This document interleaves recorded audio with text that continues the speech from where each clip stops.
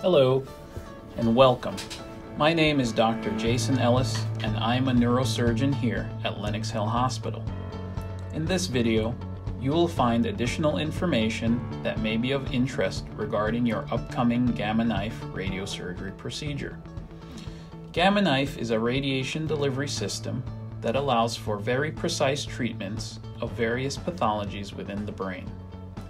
The most common diagnoses that we effectively treat with Gamma Knife include brain tumors, skull base tumors such as meningioma and acoustic neuroma, brain arteriovenous malformations, trigeminal neuralgia, and other focal brain lesions.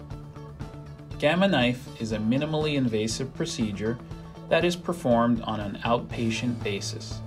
It involves no cutting, no sutures, no scars, and no pain. In fact, many patients return to work the very next day after undergoing gamma knife radiosurgery treatment.